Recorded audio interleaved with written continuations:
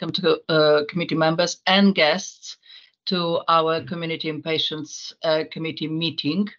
Now, just as a reminder, this meeting is being recorded for minuting purpose, but also the recording is uploaded to the website so people can make a reference to the meeting if they couldn't attend today. They can uh, watch it at a later stage. Um, also, reminder is that the meeting is held in public, so it's not a public meeting, but is held in public.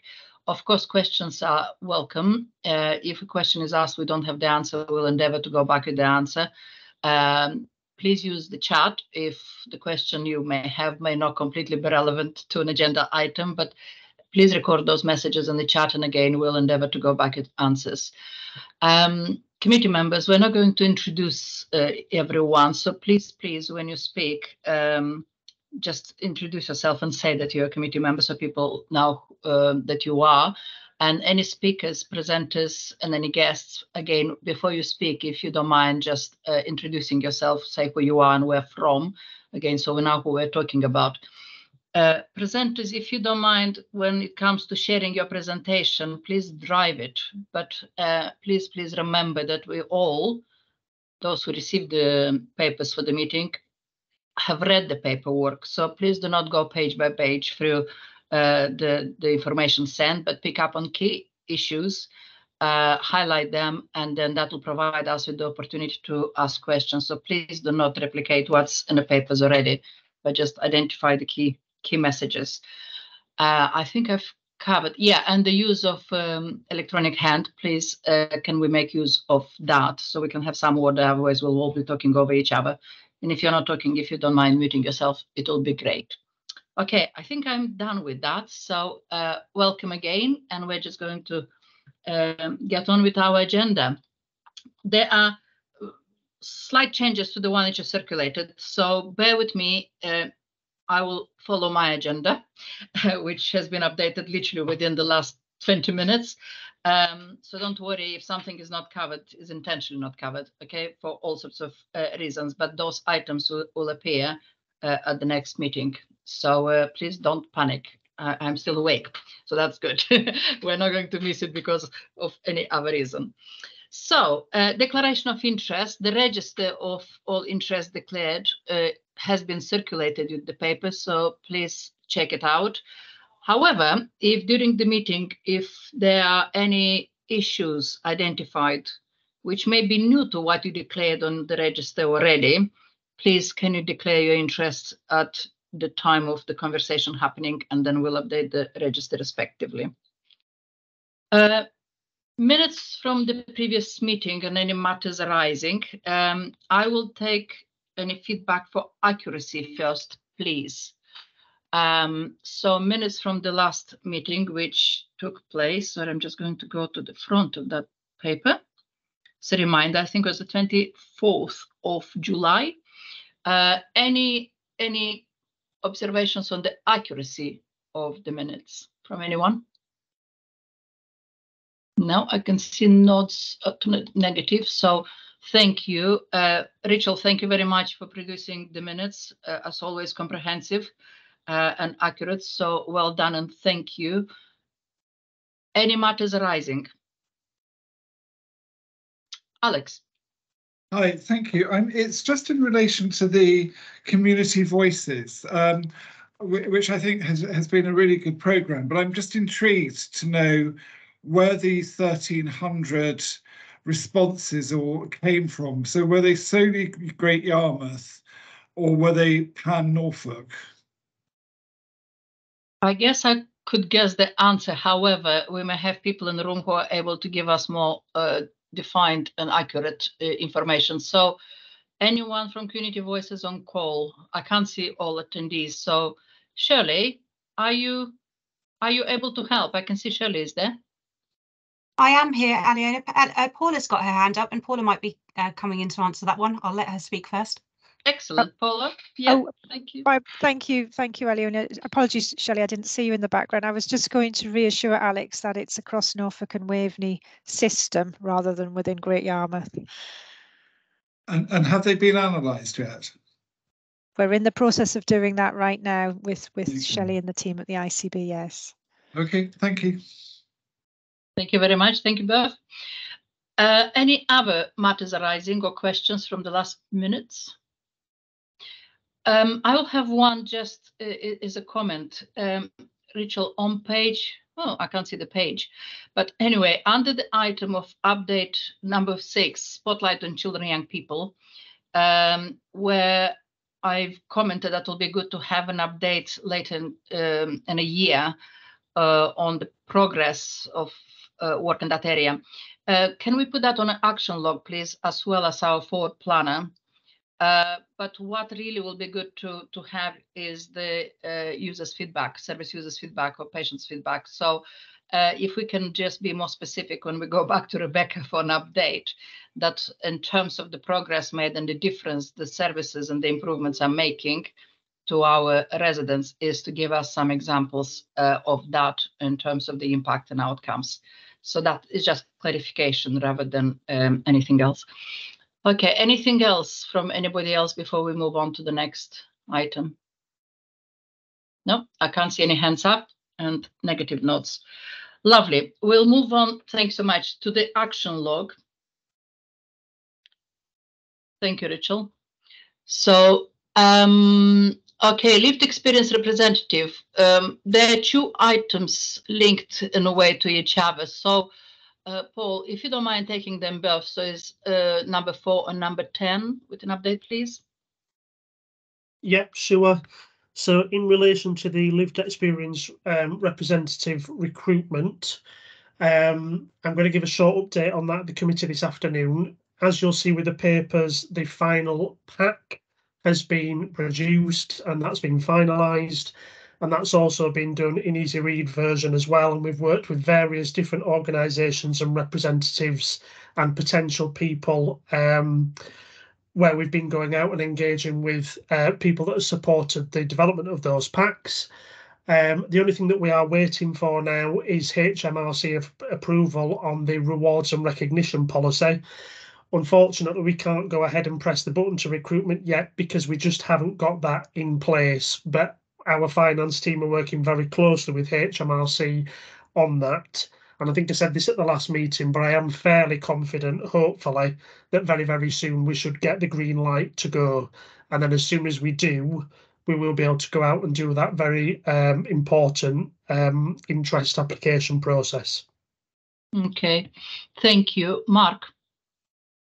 Thanks, Aliona. Thanks, Paul. And hi, Mark Burgess. I'm Director of Patients and Communities for the ICB. Um, just just to kind of flag this is incredibly frustrating actually but because all of us want these uh, per, per roles filled. They're really important to this committee. Um, but I just want to highlight that the, the poor teams across Paul's team uh, and finance colleagues and elsewhere have been really pushing to try and get this over the line. Yeah, it, it, it's it's it's important we get it right. Absolutely, which we've been looking at workarounds. We've been looking at what other alternatives we can do to to kind of fill a gap. Um, but unfortunately, um, I'll put this carefully. HMRC work at a certain pace, which is uh, which is not necessarily at the pace that we would like like to be resolved. But I didn't want anyone to think that that we're just dragging our feet on this. We're really pushing for it to be resolved, and hopefully for the next meeting we'll have a better better answer. Thanks. Thank you, Mark, and thank you, Paul. Uh, and yes, I am. I'm very aware of uh, the challenges, and I'm very aware how many people actually within the ICB at different levels are involved in trying to move this forwards. Um, but as I say, is a, a third-party organization and they have their own speed. But let's hope that soon we'll get an answer. Thank you. Um, Paul, do you want to very quickly just, the action is open, the action number six. Uh, anything else you want to add to what is on action log already? So a call's gone out to the wider ICS in relation to making sure that we've got an up-to-date organogram for comms and engagement leads across organisations. I can't yet finalise mine because we are in the middle of going through an, an organisational wide um, review of um, teams across the organisation. But needless to say, hopefully within the next few weeks, month, we should have an update on that and should be able to finalise it and circulate it around the group. Thank you, Paul. For those people who may see you for the first time, do you want to tell people who you are, please? Yes, huge apologies. So I'm Paul Hemingway, Associate Director for Comms and Engagement at the ICB. Thank you. So I have two hands up, Frankie and then Alex, please. Hi, Frankie Swords, the Medical Director of the ICB. Um, forgive me if I'm if I'm confused, but I think this action is confused. I think the action was to have an organogram of what the ICB and the ICS does, not what the comms and engagement teams do. And I think it's got a bit lost in translation.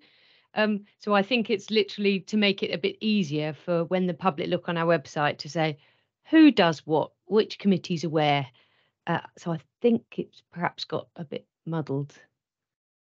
Thank you, Frankie. Agree because I was not expecting the comms organogram, but the organization. So yeah. Uh, Paul, can we still leave that action with you to help us to look at Yeah. the wider picture? I think it's for you to pull it together rather than for you to tell us what every different comms team does. if you see what That's fine. That's Yeah. fine, Frankie. Unfortunately, I think, in my defence, I think this was um, action was agreed at a meeting when I wasn't here. I thought Um, that's so I what just- had happened. I just relied on the actions, but no, that makes total sense. I'll follow that one up. And the lesson is, Paul, to be always here. Yeah.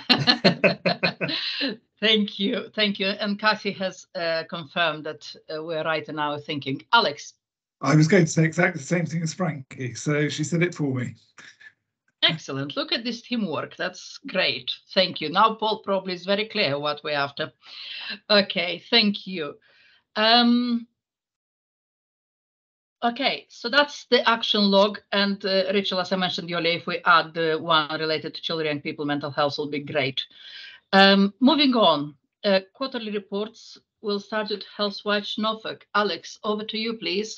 I, I don't intend to talk to it because I'll make an assumption everyone's read it. But what I have done, I think, is demonstrate the breadth of work that we're undertaking, um, covering the whole of health and social care across Norfolk. Um, and I put hyperlinks to where there are reports available, um, and that will continue. But I thought I, I'd end up writing reams and reams and reams, which people would just get very bored with otherwise. So I will shut up now and take any questions that people may have.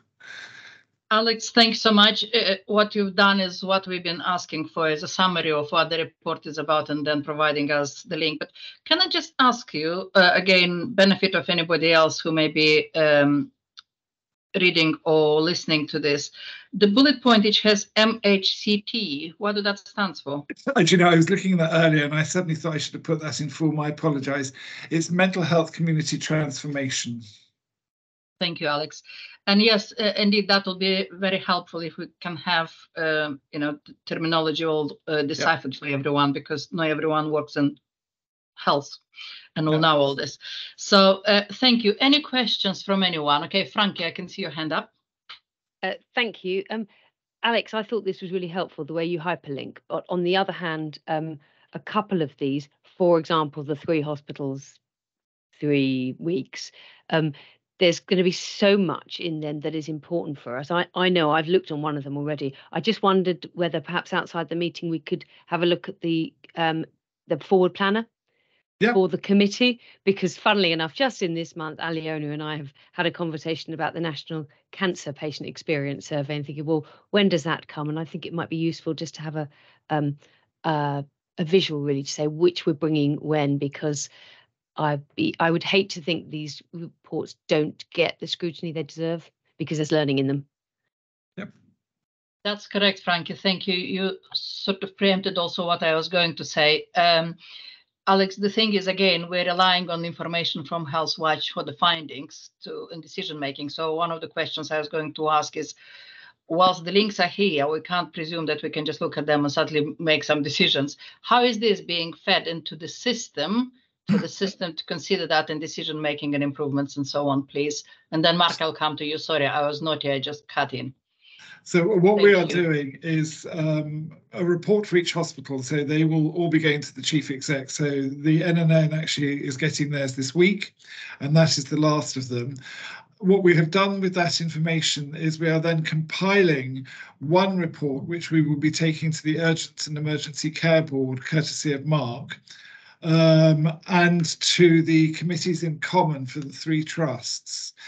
Um, and I can tell you, uh, I mean, I can give you a very, very brief overview that there, there is no particular particular bad news in any of the trusts that people, I think, once they're in the system, are actually quite content um, and recognise that there is, um, uh, you, you know, there have been delays and cancellations for a myriad of different reasons. So my next line of action is actually going to see if we can attack some of the waiting lists and actually find out whether people are being kept informed and up to date. So we will be wanting to work with the three trusts, which is what I will be recommending at the um, Urgent and Emergency Care Board and at the committees in common. Um, uh, because we will need their help in order to contact people directly rather than going into it blind. Um, and, and there may be certain areas um, uh, that they would like us to concentrate on. Um, but what struck us uh, when we have been speaking to people outside of the three acutes is that if you're waiting, for example, for a hip op or a, a knee replacement, uh, there's been a lot of people putting on huge amounts of weight, um, and this is having an impact on their sort of day-to-day life um, and we're worried that you know if they become too bariatric that they won't be able to have the surgery. Um, and, and, you know the pain continues the prescription of opiates continues and we're ending in an ever decreasing circle. So it's looking at ways which we can remedy that. But that's the next phase of this piece of work.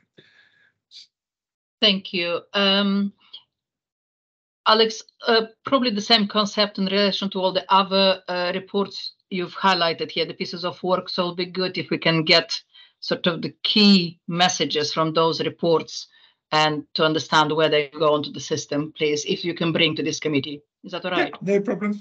Thank you so much. Thank you. Mark and then Tracy. Thank you, Chair. And uh, Alex covered one of the bits I was going to, which is the so what, what we're going to do with it. And Alex has highlighted there some kind of critical next steps because I think there's gold dust information in these reports for those that have read them. Actually, it's re really good, but also good to hear for a change. We so often focus on the bad, don't we? And the uh, and the things we're not getting right rightly to to think about what do we need to improve. But it's also very good to get the positive comments to see where we are doing well and what we could perhaps build on. So, uh, and the second point was just to say thank thank you uh, to Healthwatch and Alex and his team actually for the way it's been done. It has been very well received by the hospitals as well.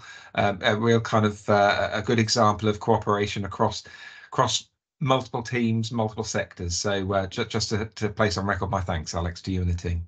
Thank you. Thank you, Mark. Uh, Tracy. Yeah, I think it's building on. Um, oh, sorry, Tracy Williams. I'm the ICB's uh, clinical lead for health inequalities and inclusion health. Um, I'm also the place board chair for the Norwich locality. So, kind of building on the use of the insights from these reports is is how we then can disseminate that again across the system, but actually how we can support how we're working at place within our health and wellbeing partnerships and our place boards sort of working collaboratively. So I haven't had a chance to read many of the reports yet, some of them, but particularly the patient partners one, for instance, will be very informative. The the the pharmacy engagement will really help kind of support place-based working in collaboration and what the needs are at place. So really keen how we can, you know, loop that in as well. Uh, would be an ask from me really. Yep. Thank you, Tracy. Any other questions for Alex or observations or suggestions? Okay, I can't see any more hands up. Alex, thanks so much. And thank to you uh, and your team for all the work. And yes, please, please highlight to us, this committee, uh, anything which uh, is important for us to note and take forwards in the planning and thinking. Okay, so we'll thank oppose to, yeah, thank you. Okay, uh, Health Watch Suffolk. Rachel, I think we have an apology for from Andy. Is that correct? Yes, we do. And I presume there is no one standing in for Andy either. No, unfortunately, we weren't able to send anyone. Okay, so there is literally information on one slide, I think, uh, which was sent to us, and it is about the survey for asthmatic young people age 11 plus. Uh, but I think that survey is covering Waveney only. Um, is it possible, please, to send a, a, question for Andy or maybe maybe Alex knows the answer? Um, is that specific to Suffolk and Waveney only that uh, survey, or Norfolk is considering also? And if Norfolk doesn't, why this is a sort of a topic uh, which is being looked at uh, in the neighbouring Health Watch, but not in ours. And any, any insight basically into that, please, Alex, if you have. Yeah, sure. It's only being looked at in Waveney. It's not being looked at in Norfolk because it hasn't been an issue that has been raised by residents with this as an issue. Um, Okay. and our, and our, our most of our work is um, led by the intelligence that we get when we're out and about talking to people. Okay, thank you. So probably we'll ask, uh, we'll ask Andy to give us an update on the results of that survey um, at uh, next meeting, if that survey is over by then. Thank you. Uh, Tracy? Yeah, just relating to kind of asthma in children and young people, we were successful with our core 20 plus community connector application for wave, I think it's wave four actually. And we've predominantly, our focus will be on children young people for that. And certainly the focus for that will be around um, long-term conditions and asthma being one of those. So certainly in future, and that's linked to community voices and co-production. So certainly we hope to bring that back to this committee in due course when that's scoped out fully and we've, we've got that work up. That certainly will be taking that further look at asthma and health inequalities and, and use and support. So that will come to you in due course. Okay, Tracy, thank you. If you just uh, keep uh, Rachel in the loop as to approximately when that will be, so she can. ask yeah, we can do that outside. Yeah. Yeah, very kind. Thank you. Paul? Thank you. I just thought it was an opportune moment um, just to put it on record. So we are supporting Andy and HealthWatch Suffolk with um, this engagement work. We've got quite a bit lined up on social media as well as a few offline um, events and for forums and focus groups that we're supporting within the Great Yarmouth and Waveney area. But indeed, obviously, like Alex has said, if these do come up as an issue and raised by patients and families and carers in Norfolk, then we provide the same support from an ICB perspective. So um, I just wanted to mention that now that the ICB comms and engagement team is supporting this piece of work in Suffolk. Okay, thank you, Paul. Thank you for um, bringing us in the loop, so to speak. Thank you. Any any other questions around Health Watch work before we move to the next item? Nope, negative notes. Thanks so much. Thank you indeed to everybody. Um, okay, uh, our spotlight item today is on all the people strategy, and I think we have Sheila Gle- Glenn who is going to take us through the work up to date. Sheila, I can't see you, but I'm sure you'll appear in a minute.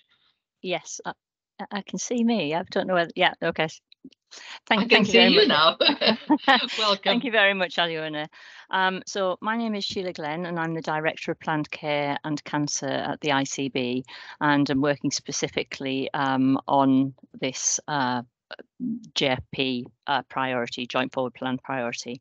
So the paper that um, you have in front of you, and I, obviously we, we take that as read, but really that's just to outline um, where we've got to so far with the development of the, the vision um, and the strategy for ageing well in, in Norfolk and Waveney. It outlines all of the key work that we've undertaken to date and including the, the stakeholder engagement, which did include um, older residents and a review of current best practice and national recommendations. So we've spent a lot of time actually talking to people, cross-referencing, looking at the what, what the evidence has, has been telling us. Um, the program itself is a kind of it's almost it's end to end because if we talk about older people then but we also have a, a, a need to start earlier in the, the the pathway if you like then what the program is doing is is almost splitting that journey of old age into three distinct areas because the interventions will be different depending on that. So the first stage is entering old age, and that's where we want to be doing a lot more of the prevention of ill health, you know, uh, health promotion, extending healthy active lives, etc. Then there's a transition phase, which is between that healthy active life and frailty.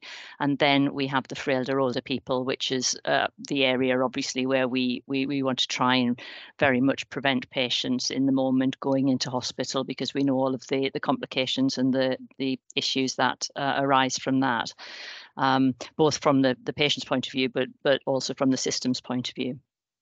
Um, in terms of looking at the evidence that we looked at, we also identified um, specifically from the um, British Geriatric Society paper called Joining the Dots, which is very well researched, etc., and pulls on the best national and international evidence. That there's there's seven areas that would have to un underpin any of our work and any of our changes across the ICS uh, to design and then deliver any um, services, but also the environments, the facilities to help the residents live longer, happier, healthier, healthier lives, which of course is is our overall vision. Um, and just very quickly, I know they're noted in there, but I think it, it really helps put everything in perspective. The, the first area is about enabling independence and promoting well-being of older people and their carers. And it's it's quite important that when we do talk about older people, a lot of the time we're actually talking about them not as an individual, but within their little family unit or their their their, their carers, etc. Because uh, again, that's absolutely essential for within our strategy. The second is population-based, proactive, and anticipatory care. So actually spotting things very quickly, doing what you can, um, and making sure that patients aren't deteriorating. Uh, and that also brings in our, our prevention work as well.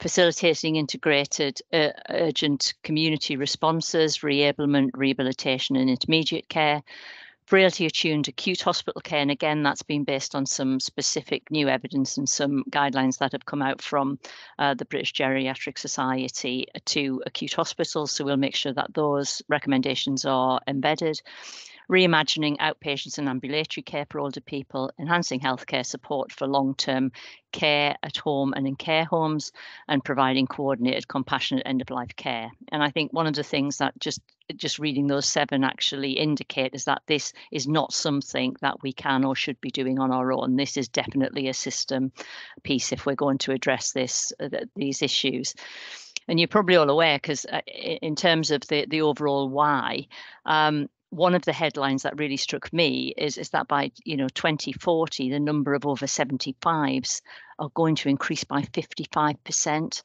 that that is that is enormous. And on top of that not only will they increase in terms of number but many of those people will be living with multi comorbidities and we have a, a health system in particular that is very much based on individual conditions individual specialties. So there's a lot of work actually that we're going to need to redesign that uh, to be fit for the future. Um, so the the actual program is is quite large and, and wide uh, wide reaching but its first objective really in terms of the JFP is is really to create that strategy and create it with older people and all of our partners um, and uh, not least our our places in terms of how that's going to be um, uh, sort of enabled in, into the future and just quickly because i know it's probably better and easier if, if if we talk about it because it's all in the paper but we have a steering group. We've met on four occasions and that's been really just making sure that we keep on track and we're, we're developing and, and bringing in the right evidence and actually taking that information back to people and cross-referencing it and checking it again. Um, and as part of the strategy development, as I said, we have all of that, if you like, the sort of empirical evidence and, and best practice. Um, but we also want to do something about looking at what we've already got because we know that within our places, within our district and, and local um, authorities. We have a lot of excellent work that's already going on. So we're undertaking a piece of work at the moment with our places, uh, just trying to identify what it is that we have there that maybe we'd want to build on because what we're not not looking for here is a one you know one size fits all or stop everything you're doing we're coming out with a new strategy so again really important and we'll be getting that back in the next um, few weeks and we'll start to see where the gaps are where the overlaps are um, and that that will again feed into the the strategy the strategy should be finished or, or will be finished by um, the end of December, and then there will be a roadmap by the end of March next year. And I suppose in conclusion, then, uh, in, in, terms of the, the, the feedback, which was um, largely came from our workshop on on the 23rd of May, um, we uh, and the research and the best practices I said that we we've already done. Um, we've got those seven priorities which will support the overall strategic goal of anticipating and responding to age-related problems and recognizing the complex interactions of the physical, mental and social factors that can compromise independence and quality of life. So there's a, there's a huge amount of work actually gone on there and it's quite difficult without actually taking you through every bit. So it's probably easier if we just, you know, talk talk that through, but happy to answer any questions. And of course, we've got our Frankie here as well, Frankie Swords, our medical director, who's also an integral part of this work. Thank you. Thank you, Sheila. Thank you very much indeed. The report was very clear too, and your presentation was to the point. So thank you so much. Now, questions for Sheila. Okay, Suzanne and then Tracy. Hello, I, I'm Suzanne Meredith. I'm, I'm Deputy Director of Public Health at Norfolk County Council, and I'm also Associate Director of Population Health Management at the ICB. And with both my hats on, I can see that this is a really important piece of work. Um, it's obviously vitally important to our um, system because of our, as Sheila has, has, set out, all the data and information about our population and our health needs, and and it's really filling a gap that we that we need to fill in terms of how we plan for, for this going forward because it it features heavily in everything we do in all our strategies and our population. So from a pop, from a public health perspective, very, very uh, supportive of this. And also from the preventive side of things, of course, there's something about taking it even further back in terms of um, how we all deal with healthy behaviours and how we support prevention and healthy behaviours before we even get to the edge of your strategy and then you're you, the sorts of people you're talking about. Um, I also see it very important from a population health management perspective in terms of the things you mentioned and and so you can see there's so many crossovers and links with all the sorts of things we're doing in our system. The scope of this is massive and i don't think we can underestimate how much you're going to have to put into doing all those connections that you've mentioned because you've got you've got adult social care as well involved and i'm sure and all sorts of people. So well, just wanted to say very supportive of this. It, it's really um, hitting the nail on the head in terms of our needs for our population and what we need to put in place for the future. But you have mentioned, of course, the wider determinants of health, the, the role of district councils and so on, and all our other stakeholders and and and um, people that we work with. So that's going to be vital. And I, I don't um, envy you the task of pulling this all together. So thank you very much. Thank, thank you, very much, Susan. Thank you. Tracy and then Paula. Yeah, yeah, thank you. Um, I, I, I reiterate what Susanna's just said, but just thinking at the moment we are kind of working. I know from Susanna's perspective, a population health management strategy is is underway, and the engagement and development of that. Our health inequalities one is underway. There's a primary care one. So just thinking about some opportunities that we can perhaps um, not do them jointly, but just join up with some of the engagement activities. Just thinking really when we're engaging perhaps with our, our um, voluntary community sector organisations that are going to be essential within the space of supporting, you know, our, our, our ageing population, and certainly some of the the engagement we already do with the community voices. So I think there's opportunities to join up. Uh, most welcome that Sheila. So I'm sure that you can be in touch with us, and we can think how we might want to do that um, over the coming months ahead. Absolutely. So if I, if I can pick that up, uh, one of the things I mentioned that we're looking at what, what are the services, etc., that are out there in places, but we also need uh, have have identified that what we need to do is to map all of the strategies um, because I mean, you know, Suzanne really hit the nail on the head. This is exceptionally complex because we're, we're not starting from just a nice blank sheet and, you know, you can work uh, systematically through. So actually understanding what's out there and even finding that as, as being, you know, quite complex. So we will be coming out to places and also to organizations as well, because they have their own strategies. So I heard NCH&C, for example, have a, an older people strategy. And I'm thinking, you know, so everywhere it, it starts mm. to get very, very confusing. So we've got to somehow bring those together, see where we've got the, the, the, overlap, are we heading in the same direction, and then understand that in terms of our strategy, it will be quite high level. Um, but we will be looking to provide that kind of framework and there'll be some things as well that we would want to see specifically across and they are things like to you know to do with um, maybe how we assess our patients and you know comprehensive geriatric assessment that, that they are the absolute fundamentals because we we all need to build on the same thing and be talking the same language. So absolutely. So i will i will be coming out to you but thank you very much for you know reminding us of that tracy Thank you, Sheila. And of course, uh, economy of scale and also working together and stop duplication is quite important. So, mm -hmm. uh, yeah. Okay, Paula and then Kathy. Thank you, Aliona. Uh, Paula Boyce, Great Yarmouth Borough Council here representing the eight health and wellbeing partnerships. Um, just, just to say, Sheila, um, really, really supportive of this, and I speak on behalf of all eight health and wellbeing partnerships.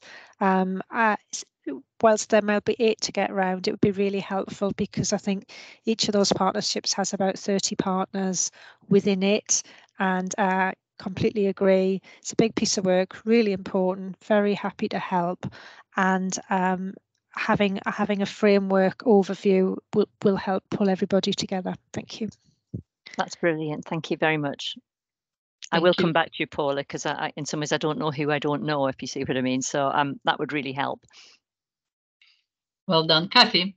Thank you, Aliona. So I'm Kathy Armour and I'm um, a non-executive member of the ICB. So, so my question is, if I'm well and I'm entering old age, and so I'm not going to the GP or I'm not being picked up with voluntary or you know voluntary groups, how am I going to be reached by this strategy to to prevent me from becoming unwell and then being in the system, if you like? So how do you keep me out of, of the system? Because I'm sure I'm entering into that phase. and there's some of the things. I mean, Frankie might want. Oh, so Frankie's got a hand up. I'll let, let Frankie go first. Uh, thanks, Sheila. Uh, Frankie, medical director. Um, that is exactly why we've um, divided the the population into those three cohorts. Because when we had our workshop, and just to reiterate, at the start of this process, we didn't start with the best practice. We started with our people. And we had 85 people together saying, What do you want? And we heard loud and clear over and over again, You need to listen to us. You need to involve our carers more. And we want to get in early and plan ahead. So, at the point of diagnosis of dementia, say when somebody's still completely living independently, they may well still be working full time, but they've had a few very early issues. They want to know ahead, they want the roadmap. Well, what's going to happen in two years' time, in five years' time, in 10 years' time? give me somebody, give me a central, easy person to call for whatever it is. Help me to help myself.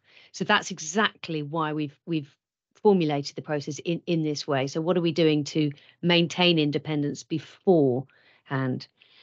So yeah, that's we haven't got the answer, but we've at least got a framework to try and find the answer yeah. and to try and reach out in that way, Kathy. Yeah, and that, okay. that's sorry, that, that's one area that I think um, we, we can particularly work with our um, council colleagues because if we're talking even further upstream than that, so how do you stay healthy? Um, yeah. You know, so what is the offer? What is the offer in this place for somebody who lives there who is maybe, I mean, I don't know how far we go back, um, but you know, maybe starting at 50. So what what what what is what is the offer there to be able to keep me healthy, keep me going, keep me active? Um, what do I need to do when things do start to to change? One place to go to, etc. But that that might be slightly different in each of the places as such. Yeah. Okay. All right. Thank you. Thank you. Thank you. Do you want to add uh, to that? Yes, Aliona, at the start of the meeting, you reminded us all to declare our conflicts, and I think we all need to declare a conflict that we're all planning all for old. our older age. no, we're all looking ahead. So this absolutely affects every single member of our population because we live here, and whether we're talking about our older relatives and neighbours and friends or ourselves, actually, know, this is about all of us. Mm.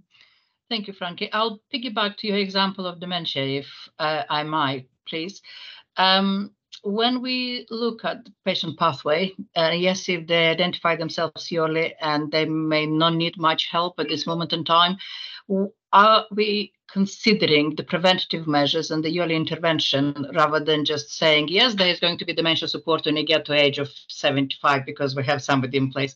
Please, can we get reassurance that we're looking across the system and not just at the obvious things because there are interventions which are not that obvious to healthcare professionals, which can prevent the decline of dementia. Yeah. So it's just I'm looking for the reassurance that we are looking outside the box.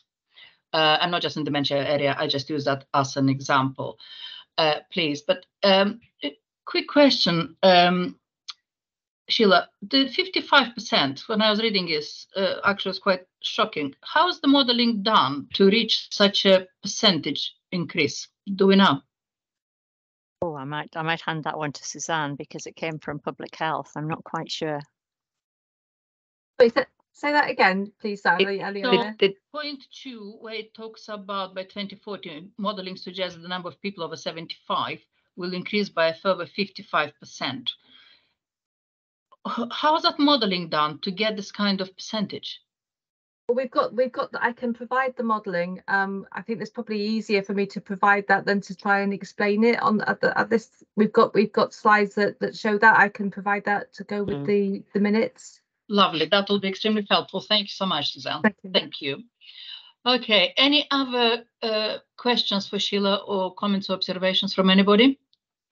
I can't see any raised hands, and uh, there are some comments in chats, but please pick them up. Uh, I can't keep an eye on both because I'll lose track of things. So uh, anyway, uh, we will minute the, any any comments uh, from the chats in our minutes. Um, so nothing else. Sheila, uh, thank you so much. Thank you to your team and good luck with this good work. It is a big piece of work. Mm -hmm. Please, please talk to everyone concerned because there'll be lots of help around. You're not alone, uh, but it's all about, uh, yeah, working jointly. But good luck and we'll look forward to hearing next time when you get closer to the draft strategy. It will be interesting to see where we got. Lovely. Lovely. Thanks so much. Thank, Thank you. you very much. For joining us. Bye. Okay. Bye-bye. Uh, if you're leaving, you're welcome to stay if you want. Okay, uh, Frankie, I think we are moving on to you now, running a few minutes late, uh, but is uh, changes to the prescribing of over-the-counter medicines, please.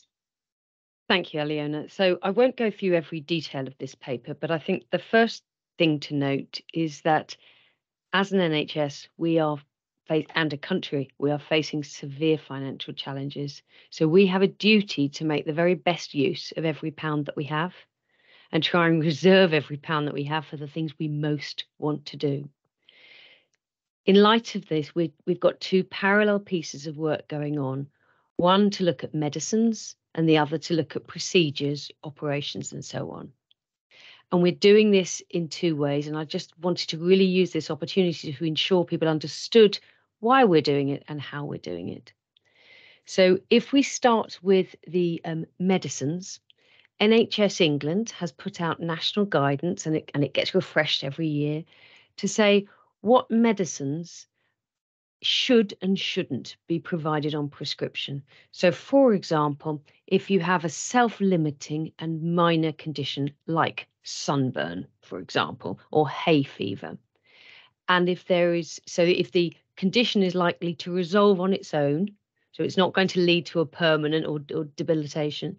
And if the treatments are readily available and available over their, their counter, or if the treatment's been shown actually not to make terribly much difference when you do a big study looking at you know hundreds and thousands of people with this condition who do or who don't take that supplement for example and they've issued a list of medicines and, and um, preparation, so things like bath oils or vitamins or mouthwashes, which they do not think that we should be prescribing because we need to reserve the NHS's money for what we really have to do. And so the first part of this paper is really just to highlight that we are putting out new guidance to all of our GP surgeries to say, look, for heaven's sakes, you absolutely should prescribe it for this, but not for that. And along with it, there's there's national resources for pe- for people who take these or use these um, uh, substances, and there's also local. So there'll be letters and information available on the website. But if somebody's been used to having it on prescription, they will be informed to say, actually, this is why it's not going to be on prescription anymore. Or if somebody just comes for the first time and says, actually, could you prescribe me some paracetamol? And, you know, to really give the GP a backing to say, actually, no, it's easier and cheaper for you to buy that over the counter in this instance. So that's that's where we are in terms of the, the medicines and products. In terms of the procedures, it's slightly different and it's very much about procedures that do or don't have the evidence that they make a difference. And so again, there, there's national guidance around this. For example, if you have a child who has a sore throat once, there's no evidence to say that having their tonsils out will make any difference long term. But if you have somebody who's had tonsillitis multiple times and it's affecting their breathing, it's affecting their hearing, it's affecting their schooling, it's a completely different position. And so, really, this is just to sort of highlight that that leads us to develop things called clinical threshold policies. And so, in the paper, there's a couple of examples. So one is about cosmetic breast surgery and another is around tonsillectomy. In both those cases, we're sort of tightening up in terms of who could have that treatment on the NHS. On the other hand, the cataract policy has actually been expanded because we, we now recognise that actually having your cataract done slightly earlier will maintain your independence for longer. So actually, it really is worth doing that, but that will mean more people get it. And then there's a, uh, the final one, female sterilisation. Actually, we've never had a policy on that before, but we've realised, in fact, the reason we realised this is because we we came across hundreds of people waiting and ever such a long time for this operation. We thought, goodness, isn't there something else we could do about that? And when we review against lots of other systems around the country, we realise that actually lots of other systems will say, well, come on, there's a very much more effective, easier, cheaper, quicker alternative to female sterilisation these days. One is long acting reversible contraception, and the other is male sterilisation. They're both quicker, easier, less risky. You know, you really should have that first. And of course, there'll be exceptions and these policies take into account those exceptions. But the rationale is really to make sure that we preserve the resources we have for what really does make a difference and what's what's most important. But I thought it was really important that our patients and our public and our community sort of understand that these are difficult decisions that we have to make, but they're important. And so we're quite keen to do it in an open uh, way. And so this is the first tranche, but as others come through, I would I would request that I can bring them here as well.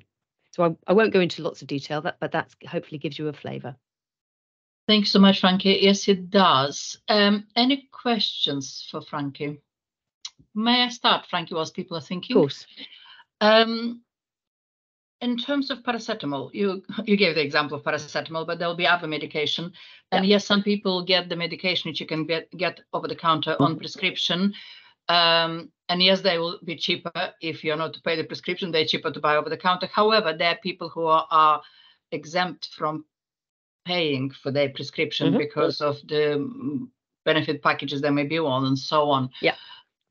What is the impact? Do we now the value of the impact in Norfolk and Waveney, and Waveney will be on patients who currently do not pay for their prescription, but they may be getting medication on that prescription which can be bought over the counter. I'm just thinking about people not actually being able to afford the basic medication we're talking about. Mm-hmm. Have we looked at that impact? So that is first question. And I suppose my my first answer to that question is a is a confession that paracetamol is a really bad example, which I gave you, but it is a really bad example because it's not actually on this list because we're not we're not stopping that. But but just But using it as an example for, for yeah. or, or things like that, you know, there can be many yeah. medications, but medications which we know they're not expensive. Mhm. when when people are receiving that so laxative is a, is a really good idea so if somebody uh, is living with chronic pain and they're on a lot of medication for their pain and as a consequence they need to have laxative um, as part of their treatment. It would absolutely still be part of their treatment. It's more if somebody presented with simple constipation actually do you know what? Some some apple juice or a few prunes in the morning would be a better idea. And that is Yeah. what we'd like we'd like that common sense approach. Um, but we can we can pull the data on how much we spend on on individual drugs which are available over the counter but it's a bit false because we're not Mm. removing them from all indications it's just from these specific indications Well, you just very helpfully clarified uh, something because we just need to make sure that GPs also understand that Yes. guidance and yeah. absolutely The, the, the other question for me was the aesthetic cosmetic breast surgery. Okay. Yes. I am sure there is provision for um, members of our community who may need that because of the gender assignment. Uh, that is going to be seen on case by case basis. Yeah, we're not just saying is aesthetic because there's different views. So, um, so- a- actually, so gender services are, um, governed separately because they're governed through specialist commissioning, which is at the moment, I can say this until the end of March, uh, not um, not up to the ICB. So they're nationally commissioned, and you have to go through a, a specialist gender clinic. But using the breast uh, surgery example, it's a good example because if somebody has had um, uh, trauma, somebody's had a terrible car accident and it's damaged the shape of their breast, somebody's had cancer surgery those people are completely exempted from this policy. Of course, that's a that's absolutely part and parcel of their of their general treatment. And if somebody needs um, breast surgery because they have huge asymmetry with terrible back pain or terrible issues with their neck because of you know things like that, again, that it, that would meet the threshold. But on the other hand, um, if it is not for those reasons, then it then it, it wouldn't meet the threshold. And then that person would have to put in what's called an individual funding request or an IFR, for which we have a whole process where people can say, actually, I'm exceptional. There's a reason why I'd like you to consider me, even though I don't fall into the standard categories. Mm. This is why it's different for me. And you make the case, and we have a, a, a process. And so, on case by case basis, absolutely, it may be absolutely the right thing to do. But as a rule, it is not yep. something that we would provide. Thank you so much. Very helpful clarification. Thank you, Frankie. Tracy. Yeah, no, thank you, Frankie, and thank you for your questions, Aliona. They're really interesting and, and good to listen to.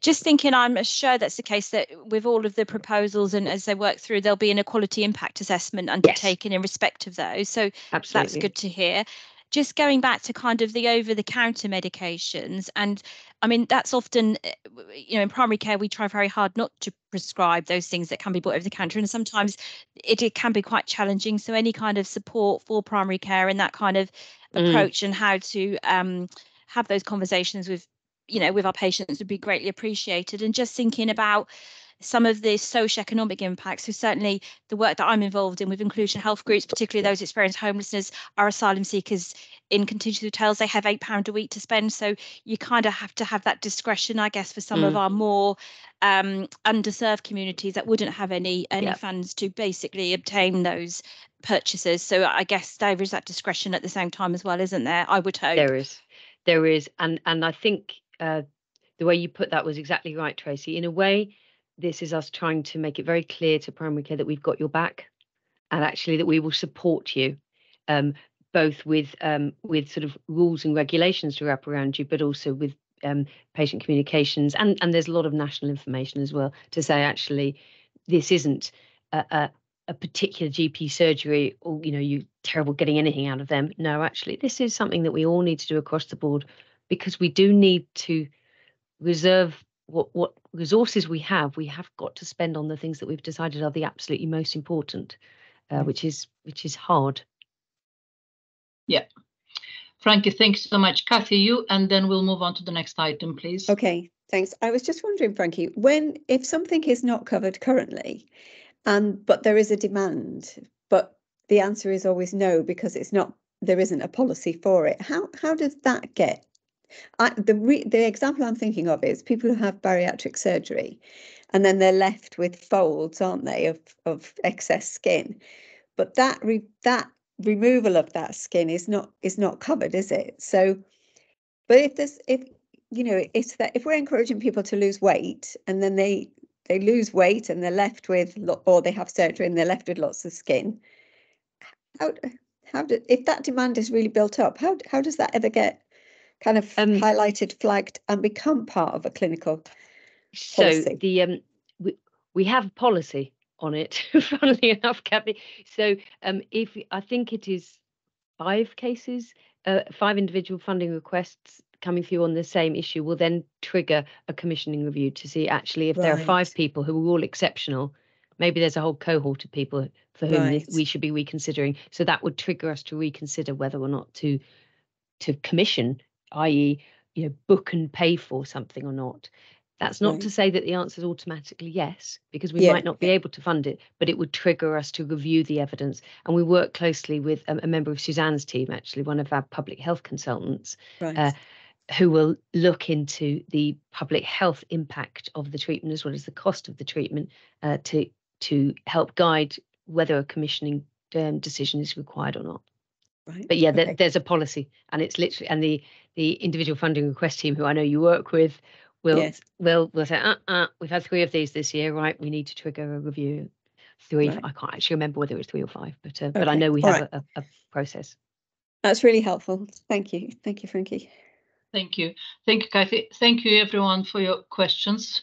Uh, Frankie, thank you for all the work, and I'm very pleased to see that the cataract has been reviewed because there's lots of evidence to demonstrate that the earlier the surgery, the lesser decline yeah. dementia, where there is a link between the two of them. So well done. And uh, yeah, upwards and onwards. Thank you, Frankie. Uh, moving on, I think we're going to go to John Punt, who is not with us, but I think Mark, you have agreed to take that item. Is that right? On yes. complaint report, please. Thank you, and I'll be very brief. Unfortunately, John's sick, so he does have a, a good excuse not not to be here. So the, the report that's been uh, brought today, just to give you an overview, it's a fairly high level, and I'd suggest actually we might want to explore some of these in a bit more detail at future meetings in particular areas. But the kind of five areas the report highlights around not just complaints, but also um, common themes, issues that are raised to us at the ICB are, and, and I, I suspect none of these will be a particular surprise, GP access to appointments, access to dentistry, waiting times for elective surgery, housebound vaccinations, uh, quite a few contacts, 281 report highlights uh, around that, but that's more around queries and eligibility and can this happen, uh, and also continuing health care. So um, uh, accepting this is quite a high level report, welcome thoughts, views of committee members about is there any particular area that we'd like to focus on and have a bit more detail, a bit more breakdown around what's behind those numbers. Um, because again, I think that's going to be useful information that we can then use to help shape the improvements that we're already seeking to make, uh, let, us be honest, uh, in a number of these areas. But so apologies, I can't present this as well as uh, John, but just a, a, few few things there to be considered, and I think worth worth a quick discussion on if if, if you're happy. Thank you. Thank you, Mark. Um, yeah, a couple of things from me, please, Mark, before people think of question. Uh, I would welcome uh, more of a breakdown. Uh, very curious to find out more about the uh, complaints regarding GP access. What exactly do we mean by that? Uh, so how is that breaking down into different areas? It could be accessibility, it could be face-to-face versus telephone versus virtual, it could be quality, it could be whatever that is. So if we can have that breakdown, uh, the same with the continuous healthcare, if we can understand exactly what the queries were about. Um, and the second one is how this information then is used, or how, currently how the complaints team are using the information which comes to them and the natures of the complaints to then link back to the system to demonstrate that there is issues and how we're going to, you know, what are we going to do to address them. So it's just to understand how the complaints team actually influences and impacts and yeah. informs um, the, the system development work, please if we can have that in the next month's report will be good. Mm -hmm. Yeah, would would you like me to attempt to answer it now as well as, as again at a high level I accept I so I think that this committee is a key part of that going forward but the other one is that the, these complaints as they come in they do the complaints team are very good are linking with our commissioning teams to highlight this information. And actually, in many cases, when the complaints are raised, it is our teams that are investigating, responding, providing the complaints team with the information that follows. So uh, that's at a high level, some of the detail around that. But but it would be good to uh, bring it back here with a bit more bit more detail. So I'll, I'll log that as well. Thank you, Mark. Can, can, you then also ask how the commissioning team then links to the quality team? Yeah. because yeah. it's not just about what we commission, but what is commissioned, yeah. what, yeah, uh, how they perform. Absolutely. Okay, in terms of quality. Thank you, Paul. Yeah, it just links to um, what Mark's just said in a way in, in terms of feedback directly influencing commissioning decisions. So just to um, provide another example, so on a weekly basis, what John Punt and his team have started doing now with my team is providing a very broad summary of some of the things that are coming in, whether that's topical, whether that's on a timely basis. For example, vaccination, eligibility, where do I go for this? What can I do for that? So all this information is basically being fed through to our team, and then we're using that information to either update policies or we're using it to update information that's on the website in relation to vaccination, for example. So that is that information is being used literally as soon as it comes in within five working days. Um, and it's been used to kind of inform FAQs and things like that. So that's just one small example, but it's just a, an important one to note that actually what we're trying to do is minimise the number of further inquiries that we might get about particular issue or subject as a result of providing that information that may be a gap that's raised to us. Thank you, Paul. May I also suggest that we consider um, sort of informing the public a little bit more about what's available, and that's where my conflict of interest comes in. Um, I work for an organization who is a provider of uh, some services for the local NHS, and yes, the complaints team been in touch asking if they're domiciliary visits. They are, they're delivered, but people don't know. So I think maybe we need to think about the current provision, how is because yes, providers will make the, you know, advertise themselves or market or promote their services. But I'm just wondering if there is a way of system wide, wide, wide, system wide uh, promotion and uh, uh, of yeah, and public education basically of the current services available and how they're delivered. Thank you. I don't see any other hands up, so I will assume there is no further questions. Mark, thank you, and uh, uh, we'll uh, wish John a speedy recovery, and we'll look forward to the next month's more in-depth report, if that's okay. Thank you. Ian, we're going to move on to digital transformation program updates. So Ian Riley, are you with us? I am, Aliona. Can you see me? Excellent. I can't see you yet, so I'll see you in a minute. Hello and welcome. Um, I still can't see you. I uh, did you switch on your camera, Ian? I, I have, yes. Uh, am I not Okay. visible? I, I can see you. I can see you. if you start talking more, probably you will appear on my screen in a minute. Ian, Okay. uh, over to you. Please, if you just tell everyone who you are and uh, do remember we have read the papers, so please pick up on the key items so we can then have a discussion. Thank you, Ian. Thank you, Aliona. and I hope you can hear me and see me properly. So, uh, welcome. Good afternoon. I am Ian Riley. I am the Director of Digital and Data for the ICB and also work right across the ICS trying to uh, bring the providers together and, and help get our digital maturity uh, greater. So, it's nearly 12 months since we launched the digital strategy right across our ICS.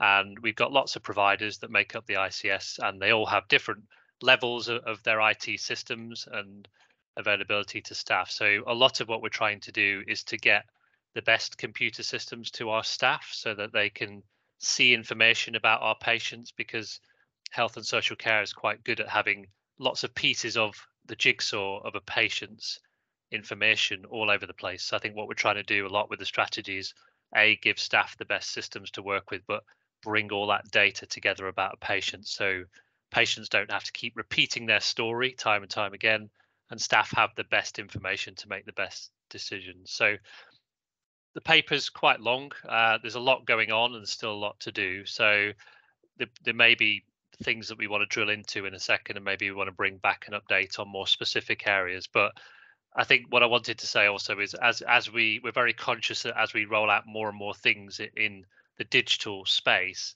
that we're very careful about digital inclusion for our patients and our citizens because it's very easy to leave people behind in this space. So there's lots of work that you can see and lots of work we're doing with Norfolk County Council to make sure that we make IT available to people who don't have it, give them the necessary skills to keep up with this agenda because there is a real risk that we can leave some people behind. So I'll take the paper as read and um, that's the introduction. So thank you, Aliona.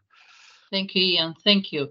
Um, so I'll wait to see some hands. No hands at the moment. So if I may, I'll kick off the, the questions. Three of them straight away for you, please, Ian. The NHS app, um, completely agree, is very good app to have, and it will be good for us to promote it more. Uh, however, the prescription part of it uh, is not always quite there. So even if you need the prescription within two days, the app says you can't have it. So you have to go to the GP's website to then or phone or whatever the methodology may be. So I'll just leave you that thought that NHS app is great, but sometimes it has hiccups on it. The second question, the single electronic patients record, you're talking about three hospitals having, um, why not the other healthcare providers? What's happening there? Again, I'm sure there is a reason, but just to have that understanding. And the third one, virtual wards. Um, is the QE in the queue to start some of that or not? Queen Elizabeth Hospital, I mean. So that is the three questions from me, and then I'll move to Kathy. Okay, thank you, Aliona. Uh, do you want me to take Kathy's question first or come back to yours? Kathy, you happy to? mhm. Yeah, happy to add it. So mine was about the East of England Ambulance Trust and the six uh, six records that they have to potentially look at. So, and you've said that there are national going to be national solutions to that, perhaps. And I just wondered whether you knew, because often if it goes national, it kind of doesn't doesn't happen. So, if, whether you knew what the progress was there or the options. Thank you. Thank you.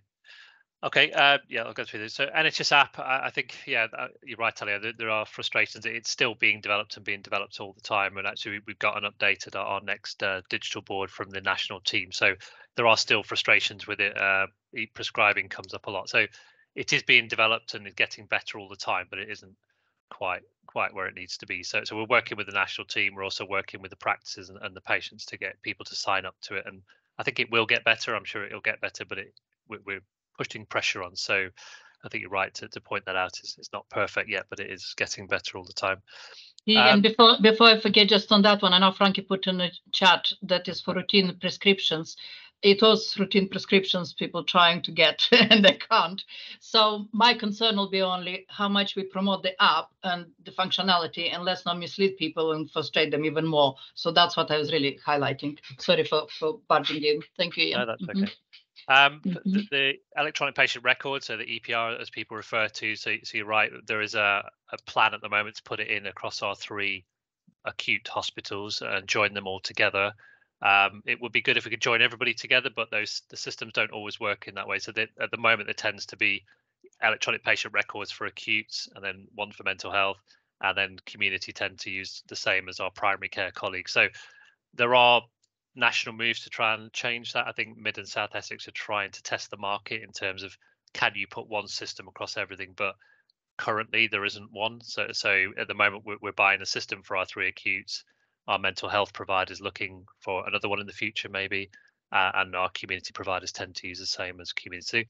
So we're getting there. I think some of some of it is getting the data out and, and linking that together rather than everybody having the same system. Um, virtual wards, I might look at whether Frankie can just answer that one if that's all right. I don't. Uh, y- yes, of, of course. Sorry. So, so the um the QEH virtual the QEH virtual ward has been at a slightly different pace and has a has had a slightly different sort of um history to the other two, but it is now live and the uh so there is um uh, they use HomeLink uh, to provide some of their uh, virtual their care in people's homes, but the new Step Up model, which is uh, to support people at home instead of an admission to hospital, rather than after an admission to hospital, you go home earlier and report and are supported by the virtual ward. That's called the step down. So the new mm-hmm. step up virtual ward uh, went live uh, on the 18th of September in the centre of our patch and is extending to the west. I think it's next week. Uh, so it's it's imminently and it's a fully integrated between the NCHC community team and the Queen Elizabeth team. Excellent. Thank you, Frankie. Because of course we need to think about patients' equality of access to services. Yeah. So we, we really shouldn't be having the postcode yeah. lottery. Yeah. But the um but all of the virtual wards now use the same um, platform. So whichever one the patient has been admitted to, IC24 are now able to review those records. It, it's Excellent. it's really really really coming on now. Whereas before it was a very specific one in the Norfolk and Norwich. There had been a very specific COVID related one at the QE, and there's a very specific one around acute medicine at the Paget. Thank you. Thank you for the clarification. Okay. Can I just take Kathy's question? Yes, please, of course. Um, so yeah, you're right, Kathy. I think um, East of England Ambulance Service struggle because I think every ICB, ICS can choose their own share care record and roll it out, and so we've got quite a few different ones across the East of England. So there are a couple of things nationally. They they've pulled in. I think there's nine different suppliers of, of share care record systems. So nationally they're trying to make them talk to each other something called interoperability. So mm. you don't necessarily have to have the same systems but those systems talk to each other.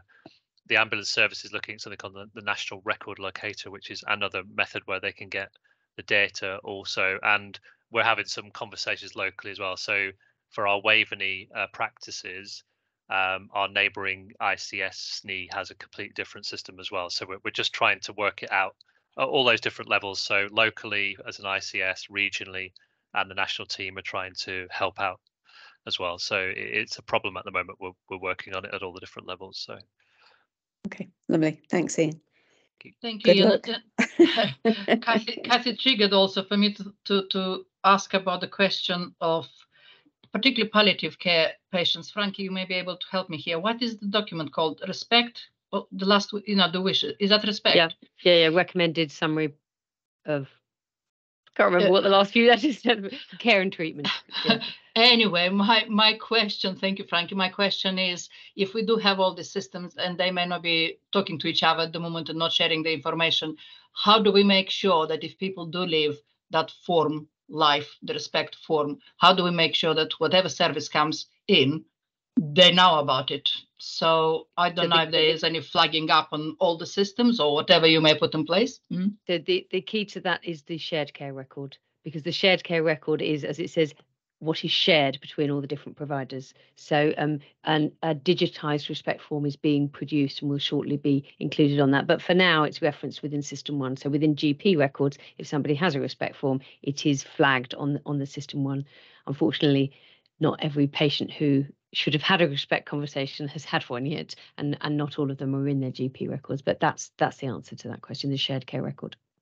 Frankie, so if the patient is picked up by the ambulance service, would they still see that or the um, hospital? Respect forms are carried by the patient. So, um, so when I do a clinic, some patients will literally have it with them. So, okay. so if an ambulance arrives at a, person's home, they ought to be able to to see it in the person's home, a little bit like your maternity record. Although there's a digital system, people will still wander around with their bounty packs because it's a handheld record by the person.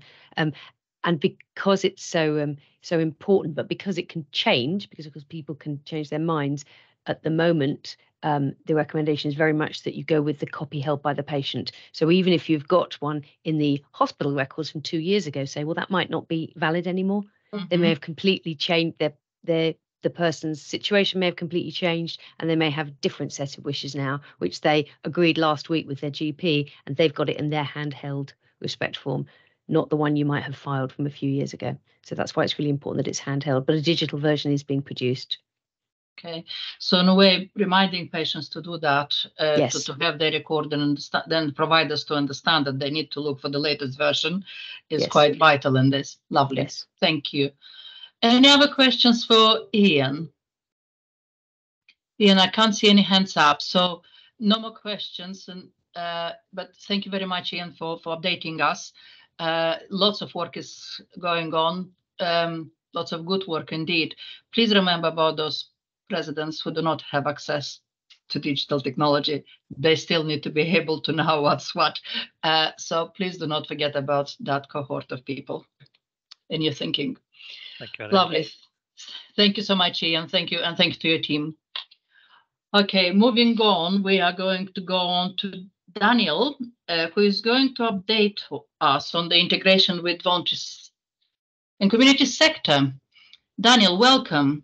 Uh, I hi, I think you have a slide deck which hasn't been put in a pack in advance. So maybe, Rachel, if you can share it, but Daniel, don't read page by page, just give a summary of everything so then we have the time to ask for questions, please, if that's okay.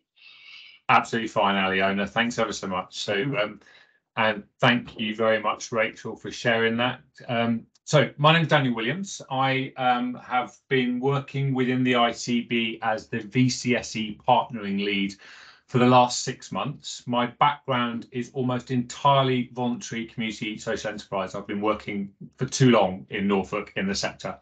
Um, and so it's been a real pleasure to come on board with the ICB. Yeah, yeah, Rachel, please, please put that up. That's great. It's been a real pleasure to come on board with the ICB and um, and start working through our proposals for next steps with the, with the Assembly. Rachel, I can't see the slideshow myself. Can everybody else see it? No, they disappeared. Mm -hmm. Brilliant. Here it is. Brilliant. Okay, first slide, please, Rachel. So I will just whistle through, but I wanted to at the start just just set this into context. The last six months of work is actually just an extension of work that's been going on way ahead of the formation of the ICS uh, from a VCSE assembly that was originally chaired by Tony Osmansky. Um, and then a piece of work commissioned by uh, by Community Action Norfolk to develop a memorandum of understanding. Um, you'll all be aware of the appointment of Emma Ratzer as our chair back in 21. And when the ICB um, launched, um, we had a number of place leads that formed our emerging assembly. And then that last bit is um, myself coming on board with the roadmap. Thanks. Next one, Rachel. Um, just reminding again of the of the clear ambitions of what it is we're trying to achieve in assembly. We've had a couple of references already today when we're looking at the older person strategy of of looking at the wider determinants of health and looking beyond just um, direct healthcare inputs. And I think this is where the sector has a huge role to play. Um, so providing VCSE engagement form across Norfolk and Waveney to focus on inequalities and prevention with connection at neighbourhood and place. We have one of the most incredibly diverse um, sectors for the voluntary community social enterprise in Norfolk, um, and and it and it really responds to need. And, and indeed, a lot of the provision is born of those health inequalities in our communities, providing a mechanism to support collaborative design, and also increasing the influence and participation of VCSEs across that design. And with four strategies for the ICB currently um, in development, a really important time for us to be able to tap into that wealth of lived experience from the sector to ensure that those strategies um, are holistically targeting our client groups. Thanks, Rachel. Um, I'm going to skip past this one fairly quickly. That was the original structure for our VCSE assembly. I think the thing I want to point out most clearly is um, just a really the, the, connection between the board, uh, which is chaired by Emma, and a number of constituents you can see down the left, and the place leads. There was there's no executive management resource in that space, and obviously with the places being new, as well as those place leads being new, a lot of learning uh, needed to take place in here. So next, next slide, please, Rach. So I'm just going to focus on that learning. Really, the bulk of what I've been doing over the last six months has been working with uh, partners just to review what we've learned. I have also been and continue to be a place lead from Norwich. So I've got direct experience on the place board, on the partnerships, um, and, and doing that direct representation work. So what did we learn? I think well constituted. You know, we were one of only two um, ICBs in the country with a, uh, a VCSE chair sitting on the main board with full voting rights, and I think that's been really useful, certainly for me, uh, culturally, and for our sector to have that uh, leadership to tap into and to bring that around the leadership table. The VCSE sector and the sector leaders are are tired. We we are you know as with you know an awful lot of our statutory providers. It has been uh, a tough, I'm going to say 15 years since the start of austerity for our sector. Uh, so they see another another initiative coming along like an ICB and they are probably quite rightly cynical. We need to be careful with our time. Why should we be investing in here? What's different? I think the most important lesson is to get the resourcing right and the lead officer at place we appointed a number of different um, experienced um, representatives at place, um, and not all of them have worked well. So the exit interviews from those that haven't worked well, both with the individuals and the ICB and ICS partners, have really informed our next steps.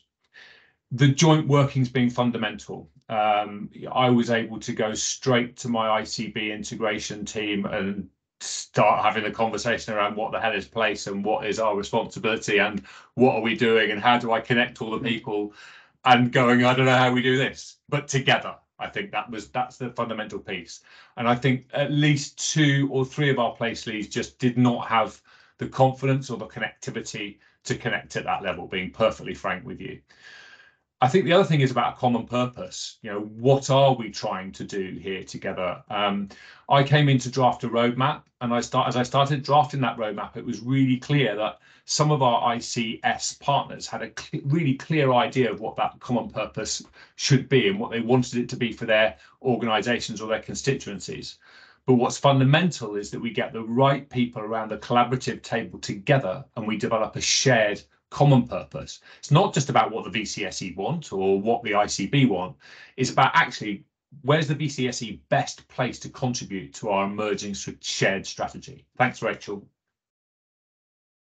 So um, a roadmap for the VCSE Assembly was published in July and was taken for consideration of the Assembly Board at the end of July and approved. Next one, Rachel. I think um, I want to be really clear. The roadmap, and this is a published document which is sitting with the ICB EMT for decision at the moment. It does it does set out the actions and resources required for the next steps. What it doesn't do is all the really, really exciting stuff that I think we could be doing at Place once we're really clear what our shared agenda is going to be at Place. And of course, how we're going to fund that as well. That has to be also has to be really clear. Next one, thank you, Rachel. So the main change um, in the proposals that we've got and in the um, structural um, request that's gone to the ICB leadership team is for that second tier of operational management. So we have a board, um, which is the strategic alignment piece, so the VCSE Assembly Board and their function and lead. We also have place leads and we've redefined that place lead job description and person specification um, and we're looking to uh, re-recruit against that but what we then have is what i'm calling an operational management team and that is not just a team of the the place leaders coming together it's fundamentally made up of our health inequalities lead. We've got a commissioning lead in there. We've got an ICB comms and engagement officer in there. And I think I've only just started. I think that operations team grows ICS wide as we get the right players around the table to really engage our sector in the right parts of what we're trying to do. Next one. Thanks, Rachel. I just wanted to drop that one in. The roadmap has 12 clear objectives, and I've been quite quite clear about them. The the blue stuff is what I call nuts and bolts stuff. It's let's get these job descriptions right. Let's learn from our pilot period. Let's recruit the right people into the right places. Um, and let's be really clear about our modus operandi. And also, of course, working through the restructuring of the ICB, how the assembly sits alongside the ICB and, and, the, and the relevant officers that are required. The green stuff is the exciting stuff. That's the stuff that you know we want to really start working on together. Um, and, and there are some really good anecdotal examples. Um, the Interact project in Norwich is one that's been fairly well lauded. But for, for that, there's probably two or three others across each place that we're starting to work on. But the point is, we don't want this to be anecdotal. We want it to be systemic. And the last slide, thank you, Rachel. Um, oh no, two more. This is just a summary of what will be different. Um, I'll, we'll circulate these, Aliona, with the minutes, so I won't read through these, but it's just a real you know, headline summary of the six things that are going to be different. I will just pull out the fundamental one being that the ICB directly has a direct communication channel both to and from the VCSE sector. Uh, so the last slide, thank you, Rachel. I just wanted to put this one up. Um, as, as coming into the ICB, I'm working with the logic model um, format that we have in the ICB, the theory of change. And, and I wanted to share the hypothesis, and I'm just going to read this one out. And bear in mind, you know, this this this logic model is just being iterated. So what I find is every time you engage a partner or pick it up yourself, you want to fiddle with it. But the idea is that improved partnering with the VCSE sector across Norfolk and Waveney will lead to an increase in early and preventative interventions, building community resilience. An increase in community resilience will help people of Norfolk and Waveney to live longer, healthier and happier lives. It will also reduce the need for more expensive, more acute health and social care needs across the system. So I'll leave that one with you as, as our direction of travel for the VCSE Assembly. Hope that's okay, Aliona. Thanks so much, Daniel. Uh, it is indeed. And yes, Rachel will upload to admin control and uh, of course will be on a website. So there are some spelling errors. Before we put on a website, just correct them. Thank you. Uh, nothing drastic. Okay, we have hands up. Alex, you and then and then uh, Paula, please, followed by Tracy. Thanks very much, I, I like the concept of the, the, the voluntary sector partnership, but it's been going now for I think nearly four years, and I've still yet I don't understand what outcomes have happened as a result of it, and it strikes me that it it seems to be a very expensive um, well-meaning and laudable um, piece of work, but but without any outcomes, I kind of feel it just becomes another talking shop. And from a public perspective, what it concerns me is that we just have another layer of management that everything seems to be going through. Thank you, Alex. Not sure who can take that. Um, Daniel, I'm sure you Um, can provide um, some insight, but Mark, I'm just looking at you also. Mhm. Can I respond first, Mark? Yeah. Um, um, Alex, I, I, that criticism has been levelled at me by sector colleagues, and I, and I'm not going to be overly defensive of it, other than to say it's not been up and running for four years. You know, the model actually has been up and running for um, just over a year with place leads in place, and uh, those place leads have been um, working to try and interpret that shared agenda at place and to build a working partnership. That hasn't always worked. Um, Well, sorry, may I just interject there? Because actually the, the, the organisation has been being funded for nearly four years now. So whilst it might not have been up and running, you know, public funds have been uh, uh, sort of attributed to it. And that that's where my concern lies. Alex, can I clarify? You, you, you're talking about the assembly itself, yeah? Yeah. Yeah. Yeah. And, and, Okay, and so you we're know, talking about, yeah. Can I come in there just quickly, please, Ali? Please, so I know I'm yeah. conscious of time. No, I think it's a fair chal- challenge, Alex, but I think this we are different now. We're an integrated care board now, which is different to being a CCG, and I think our ambition is high. Uh, and rightly so, uh, and uh, so I think you know let let's challenge us. We had uh, quite a long session at uh, exec management team this morning. Actually, Daniel was there, Frankie was there, and, and uh, Andrew, who's just joined, to think about how do we really push this agenda forward. You know, I think almost without exception, there is support to really push this agenda forward.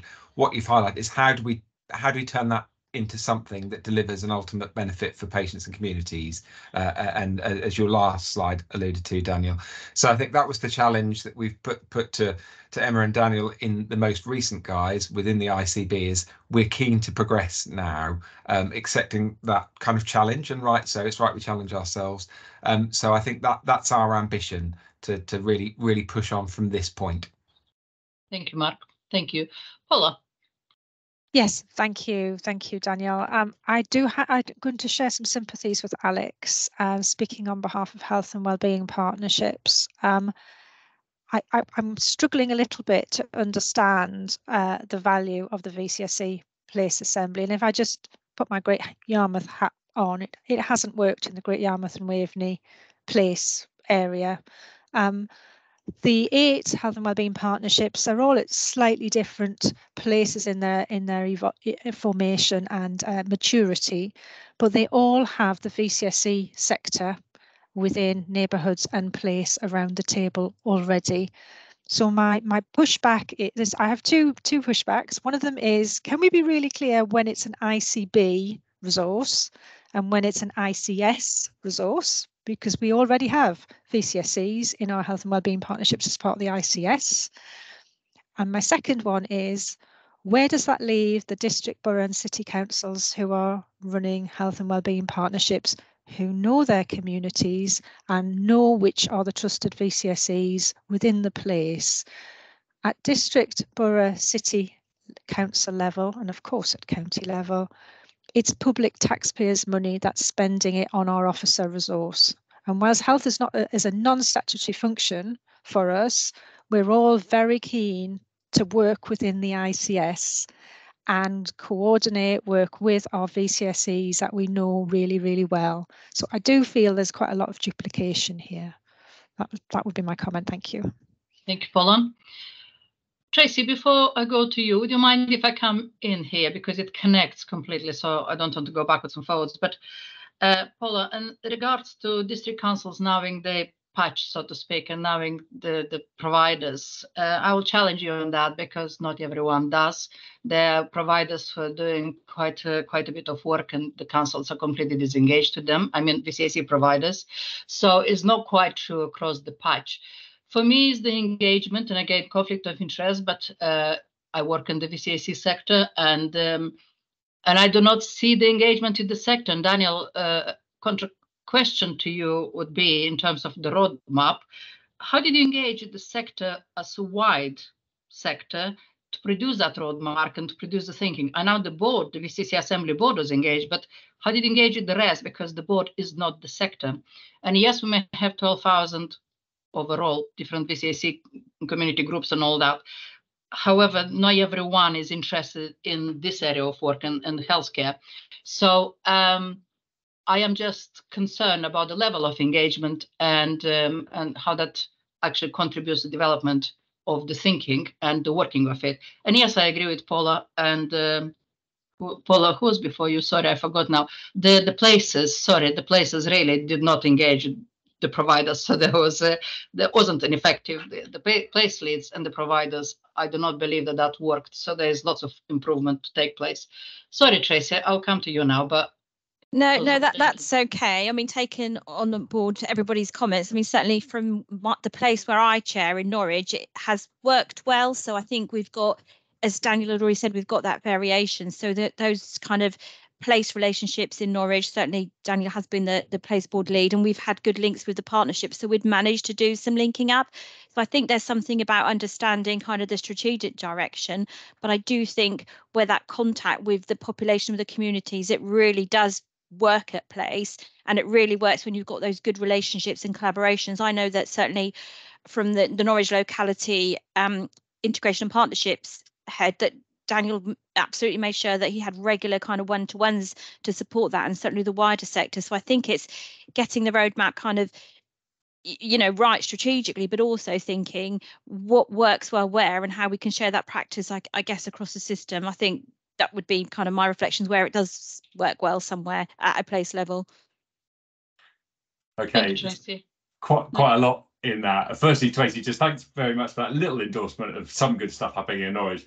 Um, I I feel we've got a huge distance to travel in Norwich, and we've really only started and scratched the surface. I just want to respond to to a few of those um, issues that have been raised uh, around the you know how would the sector consulted on the assembly roadmap um, quite limited time, but we did have a um, fairly well attended, um, probably about 30, 40 attendees at a, a, a, structure, a, a strategic review session that we held uh, at the end of Ju June, which we asked VCSE organisations to feed into. We used Menti-polls and we um, we proposed some um, assembly agenda items for, for working in partnership and tested those out as we went forward. Um, really the the rest of it was around qualitative. It was around what wasn't working. So it was the exit interviews with those um, place leads um, who didn't work, and also with their ICB and ICS colleagues um, where it didn't work. And I think we do feel that we can we can do a better job in that space. Um, I want to also come back on the value of this at place level, and you know who who which bodies think they're best placed to be able to know their community. Um, I've been involved in the sector since the early 1990s, and I've gone through about. Daniel, you are frozen. Or your screen is, and we can't hear you. What a time to freeze. Ah, talk about luck. Daniel, do you want to try and move your mouse or something to unfreeze yourself? I don't know what one does in this situation. But whilst Daniel is trying to regroup with us, um, I, I, think just my my reflection, the voluntary sector definitely has a place and a role to play and taking the agenda forward. Uh, lots of preventative and early intervention work can be undertaken by um, the sector. Uh, the joint forward plan you know, clarifies for us that prevention, and early intervention definitely should be as a golden thread through everything we do.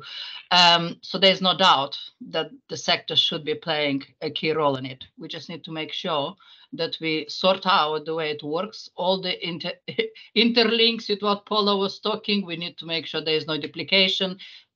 But also for me is making sure that we're actually inclusive of the sector uh, that is not just the same people are asked because they're the ones who respond or because that's the people who are known. So we just need to make sure that we're opening opportunities to the sector overall. If the sector doesn't want to engage or individuals, organizations, that's fine, that is their choice. But let's not restrict their engagement just because we do not approach them or give them the opportunities. So uh, I don't know if Daniel will be able to rejoin or not, but Mark, can I leave the message with you for Daniel, please, that we just need to clarify things and make it make it work. Uh, but of course, we need to have some resource allocated to it to make it work too, without duplications and without running around and not knowing what's happening and where. So um, it is lots of work to be done, but I'm sure it's positive. We're moving forwards. Frankie, uh, you put your hand up. Yeah, it was just to um to point out that on the agenda this is for discussion and noting, so it's not for approval or no. So it, not you know, exactly. we, yeah. Yep. So that's what I'm saying. There's plenty of work to be done. So we're here to seek feedback and now where we're at. And actually, thank you so much to all of you who raised the issues because they're fundamental issues to, to sort out for us to be able to take this forward properly. Okay, thank you. So we'll move on now and uh, thank you to Daniel when he rejoins if he does. Uh, Paul, very quick update, please, on the council engagement. Thank you, Aliona. Um, for some people that have just joined the meeting, uh, since I spoke earlier, I'm Paul Hemingway, Associate Director of Comms and Engagement at the ICB. So I'm not going to dwell too much on the lived experience representative involvement, um, other than to say that the packs, the draft recruitment packs, are um, have been issued with the papers. They are more or less nearly final now. If anybody does have any further comment on that pack and the easy read, please do get in contact with me direct and I'd be happy to finalise um, any comments into those. Conscious that there's two more items after me on the agenda, and I think I want to give Andrew and Co and, and Karen a lot of time for those. Um, so I'm just basically going to say one final thing, and that is the next face-to-face meeting of the Com Norfolk Waveney Comms and Engagement Group is taking place on the 11th of October. It's going to take place in Norwich, and one of the items on there um, we will be focusing on is the terms of reference for our group. Now, it's the group's been in existence now for probably about a year and a half. We've had lots of meetings um, across the system in relation to comms and engagement and aligning efforts, reducing duplication. But one of the key things that we're really keen to do now is make sure that now we've got the Patients and Communities Committee up and running, and it's been up and running for some time, is make sure that this committee gets the assurance it needs and the reporting mechanism it needs to be able to actually understand what the comms and engagement group is doing, what it's focusing on, which are the big ticket items that we're looking at as a system. So we're going to review, review the terms of reference again at the meeting on the 11th of October. Once those have been agreed by the comms and engagement leads on the group that represent um, the group in its totality, we will then bring those back to the committee for final review and endorsement, and then we'll formalise the reporting arrangements between the wider group and indeed the Patients and Communities Committee. So I'm happy to Thank take any questions on that. Thank you. We have uh, Alex and then Kathy. Sorry, I seem like the person of doom and gloom today. Apologies for that. Um, I would just like to throw out a slight caveat that we need to be very careful with that comms and engagement group, that there isn't an expectation that they will do the work of the ICB or the ICS, that they are partnering organizations that will help where they can. But I think, uh, uh, you know, it worries me that um, there could be an expectation that they will take up the mantle and run with everything. And so it's, I'm just throwing out a sort of bit of caution, basically just to reassure you, Alex, the actual group, it's more about making sure we come together as collectives so that each of us know roughly what everybody's doing at the same time and what plans we've got in place one of the key things that we've seen since we became as an ICS last year is actually there's a lots and lots of activity that's going on, but actually some of it's not necessarily well timed. Some of it's there's quite a bit of duplication. So it's about actually for some of the big things that are going on in the system where we know, for example, ah, Healthwatch is about to go and do this, but actually QEH were thinking of doing something similar. Actually let's try and group some of these things together to try and reduce the duplication that's going on and then make sure we've got a very well-oiled mechanism to be able to actually make sure that we are working together as a system and trying to actually, you know, generate the same key messages, help each other out. I'm, I'm very sorry, but we can't all generate the same key messages. Healthwatch is an independent organisation set up by statute, which will sometimes be very controversial in its response and actually be holding the ICB to account, which actually is completely counterintuitive to what you've just stated. No, but what I'm talking about, Alex, is more the key kind of comms and marketing campaigns that we've got, there's lots of things that go on across the system. Whereas actually, if we make sure that we've got a bit of an awareness as who's doing what at each moment in time, we can make sure that actually we're much more aligned. But I completely get the you know the absolute relevance of the statement you've just made. Completely agree with that. Okay, thank Just you. to, uh, Alex, just to add to that, I have meetings with um, NEDs from various provider trusts, non-exec directors, uh, responsible for patient engagements and comms, and they're all saying, let's not duplicate, because sometimes it happens, we're asking the same patient the same question by two different providers. So we're agree talking about those kinds of things. Yeah, yeah, thank you. Kathy, was your hand up? You Yeah, it was, but it was a similar, it was a similar question. So Lovely. Thank you, Kathy. Any other questions for Paul?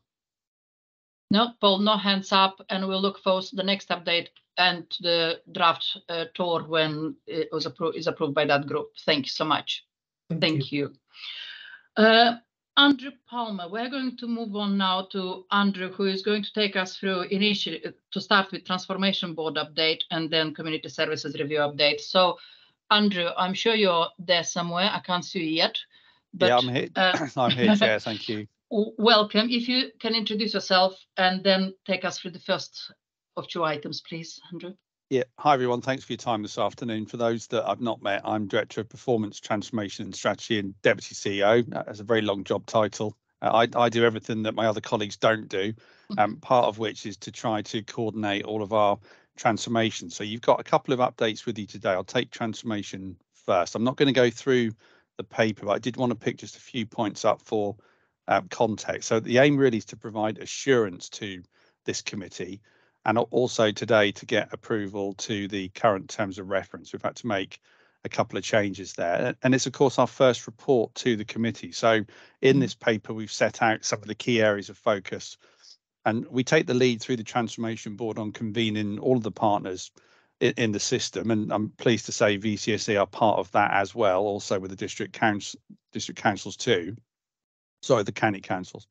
So we, we've got a really broad spectrum. So we cover integrated care strategy in terms of how we can support the work on that, the JFP, joint forward plan that you've seen here before, work around cost improvement programs, the community services review that we'll come on to shortly, as well as some of the more technical aspects of moving services from NHS England over to the ICB for commissioning. So quite an eclectic and wide ranging group with a, a similar, I guess, agenda to fit. So it's probably one of our longest standing groups in the system.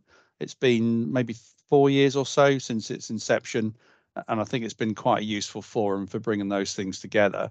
It is developed with system partners, so it's definitely not seen as a ICB group. It, it truly, and I hope it is, as the chair, truly convened to be a system-wide group, and it's there to bring the partners together to really try and tackle and debate and agree and move forward those tricky strategic issues that affect all of us. We've got some sub boards that report through to the group, and they come through our program coordination group. So there's a tight link there between some of the program boards across the system. So those covering topics such as elective recovery, for example, mental health, and so forth. And really, I've set out here in the paper what we've been doing over the last 12 months, particularly with our ICB hat on. So I won't go through the key areas of focus. We can pick that up in discussion. But just before I stop to discuss and take any questions, just a note on risks in the committee. So at the moment, the Transformation Board does not hold any risks itself. So we make sure that the relevant program boards or the relevant projects hold them within their own governance. But I think that is going to change when we start to see the transition of specialised services. So I would expect that to happen. For those of you that are board members, you'll know from last week, as part of the approval of that paper, that we'll be bringing back a comprehensive assessment of risk for the transfer of specialised services in November. And right at the very end, I've set out the focus for the year ahead. So lots of work around supporting the inequality strategy. We're not leading it, but we can, I hope, support that work. Lots to do on the joint forward plan and strategic alignment across the board, actually, and also some pretty significant work on efficiencies and productivity, also the community services review that we'll come on to in a moment. now, we also provide some support too around the coordination of the clinical strategy and moving that forward too. as you'll be familiar with from other reports. And then really just that whole piece around evaluation and just making sure that as a group of pretty senior system partners, we're focused on the right areas. So, so that's the role of the transformation board. Um, very happy to take any comments or questions and discuss. Thank you. Thanks so much, Andrew. And of course, the terms of reference were uh, circulated too, so we are familiar with who's sitting on the board and all the governments around. So thank you so much for su supplying that. Frankie, you have a question um, for Andrew. Mm -hmm. Yes, yes, thank you. And and Andrew, apologies, I've I've picked this up with Liz in terms of the forward plan of the transformation board, but essentially the the transformation board, to paraphrase you, is about implementing our strategies, you know, implementing them and tying them together to make sure we really are doing what we we said we'd do in the clinical strategy and the joint forward plan and so on and so forth. But but um, health inequalities has snuck in there. And I think it was a hangover from before we had set up the health inequalities and PHM oversight groups and the board, which actually um, feed directly. And I don't think it they need to be coming to that group as well. I think we're in danger of duplicating. And I'm and I'm pretty sure Liz has already taken it off the forward planner for you, but I think my timing of that comment is probably I probably missed the paper deadline for that one. So I just wanted to highlight that we don't need to bring everything everywhere all of the time. so health inequalities, in fact, Tracy, who's with us today, chairs the Health Inequalities Oversight Group. She's responsible for developing that strategy, which leads into the Population Health and Health Inequalities Board, which actually provides assurance directly. So I just wanted to make that point because otherwise we're just going to tie tie ourselves in knots. I think. Yeah, welcome that, and very happy to take one off the list. But I, I guess Tracy, yeah. the offer remains to you that if you're looking for a space with pretty senior system partners to talk about how your work aligns with everything else that we're doing, then you can come and have that conversation with us. And as chair, very happy to support that. So we'll add value where you need it, and very happy, Frankie, not to duplicate. I'm with you on that one. Thank you. Thank you. Thank you, Frankie. I, I, think what will help really is to get the current organogram of the governance and all the boards because there have been additions, changes, and so on. Uh, and as a committee, I think it will be good for us to uh, know where things are sitting now. Thank you. Uh, Karen? Hi there, um, I'm Karen Bryant, Associate Director Local Commissioning for the ICB. Um, I just I think it's really great, this board, in terms of bringing the potential silos together and having that in one place and that kind of cross-sector um, discussion. Um, I just think, Andrew, I think there would be benefit in sort of promoting the work of the board throughout the ICB a bit more, because I think it is a really, you know, it's great. This is where it all comes together. So just sort of a plea to sort of spread the word a bit within the ICB, I think would be great. Thank you, Karen. Thank you. Andrew, quick question from me. And future work plan, the joint forward plan, refresh and monitor and monitoring, yeah? Um, yeah, completely the right thing to do. Is there an implementation plan which supports the joint forward plan, please?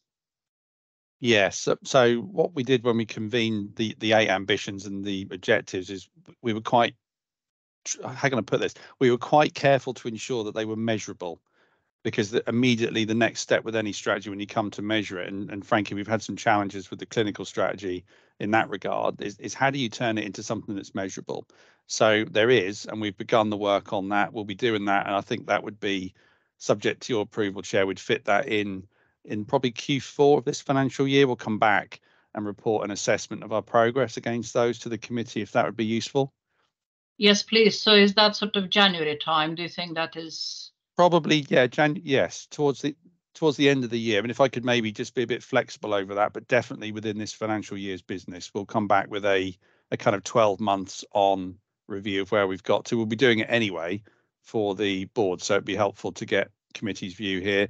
And actually, we might want to just reflect on whether they're still the right objectives as part of that annual refresh as well. There could be some new things that we need to take in scope and maybe some things now that we could take out. So yeah, very appreciative of that support. Thank you, Andrew. And of course, it's important for us to remember that in all the reviews, we need to take into account the feedback we get from our residents.